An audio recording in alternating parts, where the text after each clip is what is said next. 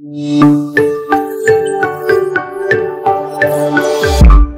there, once again welcome back to my YouTube channel. In today's tutorial, I'm going to show you how to hide the floating meeting controls in Zoom screen sharing. So this is my screen, I'm trying to share what is going on and then these are the controls for this particular screen sharing. And this is quite frustrating because it's going to block certain parts of your screen and then you may want to hide this from your screen whilst you are sharing your screen.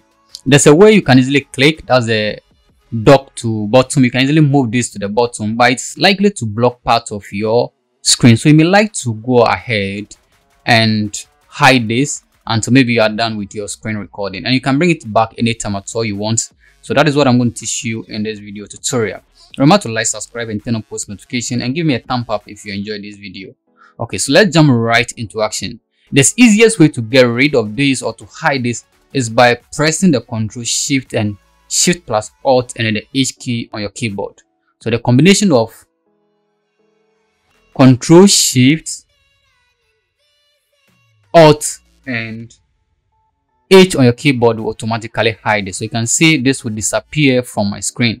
If I want to bring this back, I just have to press the skip key on my keyboard. You can see this is back. You also have the option to move this around.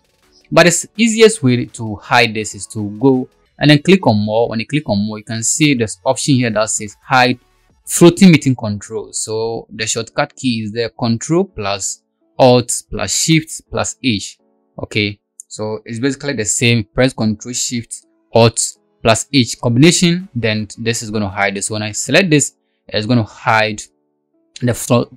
It's going to hide the floating screen control. So basically this is how you can hide and you can get a full screen to work with and then you have enough workspace whilst recording your screen. So basically this is how to do this. If you enjoyed this short video tutorial, give me a thumb up, like and share this video. Till I come your way again. Bye bye.